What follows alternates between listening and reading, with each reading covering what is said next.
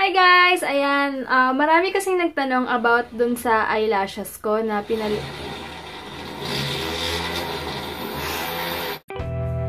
Hi guys! So ayun, marami kasi nagtanong about sa pinalagay kong eyelashes ko na ah, hindi ko alam kung tama ba yung pag... Kasi ang false lashes, ba, yun yung kinakabit. Feeling ko gano'n. Ito, permanent lashes yung tawag nila dito kasi nga, hindi siya, hindi naman siya super permanent, pero hindi siya agad-agad kasi natatanggal, di ba? So, ayan guys, kung napanood yung vlog ko, pinalagay ko to ng 400 pesos siya. 300 to 400, depende kasi yun sa kapal na gusto nyong ipalagay. So, uh, yun sa akin, yung 400, pinatodo ko na makapal siya and number 10 to sa kanila. Yung number 8, yung dati ko lang na parang natural lang siya. Ngayon, medyo halata mong parang nag-curl talaga yung eyes mo. Parang ganyan siya. So, uh, mas maganda siya kapag, syempre, bagong lagay. Pero pag tumatagal ito, siguro parang one week na ata siya. Pero sobrang okay pa siya kasi ang maganda doon, maganda yung pandikit nila. So, dapat alamin nyo rin kung magpapalagay kayo kasi meron akong nabalitaan na may promo ata. Nagpalagay siya, namumuti yung ano, namumuti yung pangdikit. So, sabi nung iba, ano daw yun, uh, hindi daw imported yung mga pandikit. So, yung mga ginagamit, local lang. So, namumuti after or kinabukasan or pag nabasa mo na ito, hindi talaga, super black talaga siya. Ngayon, sa pag-aano naman, sa pag-aalaga naman, syempre pag maghihilamos kayo, dapat ganun-ganun lang. Hindi siya pwedeng i-rub nyo. And dapat aware kayo pag gising nyo sa umaga, dapat alam nyo nakapilik mata kayo. Kasi di ba madalas tayo nag-rub ng eyes natin. So dapat avoid natin yun kasi may tendency siyang matanggal talaga. Kaya yun ang mga dapat nyo ingatan. Ngayon naman, itong pilik mata na to, parang natural lang, parang wala ka lang suot na hindi siya mabigat or kung ano man, walang pakiramdam. Kaya, nasabi ko na maganda siya. Ang yung pandikit niya, super tibay talaga kasi isang linggo na to. Yun nga lang kapag, syempre, hindi mo naman maiwasan kasi hindi naman siya tunay. So, minsan, nag-ano siya, ayan nun, naghihiwa-hiwalay siya kung nakikita niyo. Naghihiwa-hiwalay siya konti kapag medyo matagal na, pero super curl pa rin siya. So, maganda lang siguro kapag mag after nyo magpalagay, avoid nyo munang basain or kung ano man kahit na hanggang kinabukasan or kahit siguro ilang oras, yun lang para mas ma-stay talaga yung pangdikit niya. Ayan. And ano ba ba?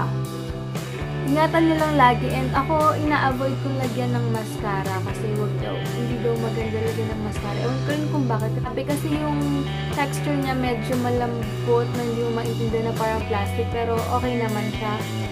And, yun nga lang nakakainis lang dito kapag ilalagay kasi isang oras siyang ilalagay sa'yo or more than one hour siya ilalagay. So, kailangan talagang tiis ganda ka kapag magpapalagay kayo. Ang maganda lang, ang advantage lang nito, syempre, kasi pagising mo, okay na yung pilik mata mo, tsaka kahit di ka na magsalamin, kahit di ka mag-makeup, basta may pilik mata ka lang and lipstick, okay na. Pero ang disadvantage naman nito, kapag patanggal na siya, syempre, ang di na siya maganda. So, may, mapipilitan ka talagang tanggalin na isa-isa or uh, uh, hilahin na so mapapasama yung na natural mong pilik mata. Yun lang ang mga, yun lang ang disadvantage kapag hindi mo na siya ipapamaintain. Pero kung ipapamaintain mo, much better. Kaya lang, ewan ko, may nagsasabi din kasi na ano, siguro may mga sens sensitive din talagang eyes. So, check yung muna guys kasi syempre hindi naman tayo pare-pareho ng skin type or kung ano man na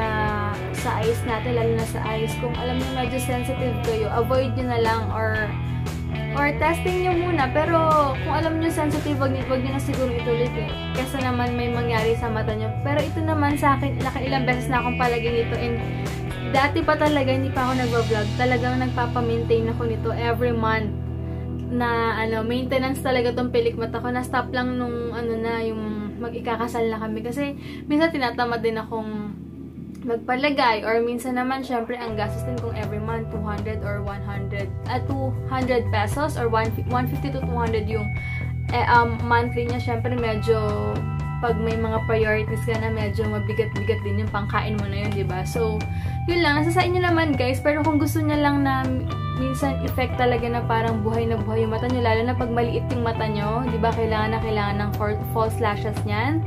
Kaya, nasa sa inyo yun guys, pero para sa akin maganda rin talaga to kaya lang ang hirap lang niyang i-maintain and magastos. Alam niyo yun guys. So, uh, tinry ko lang siya yung number 8 kasi number 8 talaga lagi pinapalagay. Pero nasa sa inyo, so, yun lang para sa akin guys.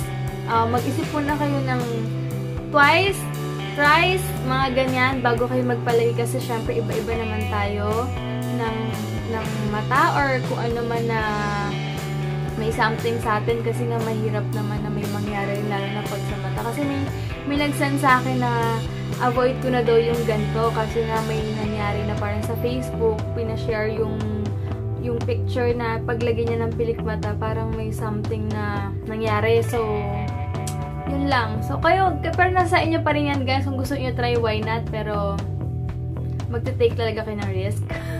Ganun talaga. So, yun lang guys. Sana nakatulong tong simple video ko about sa lashes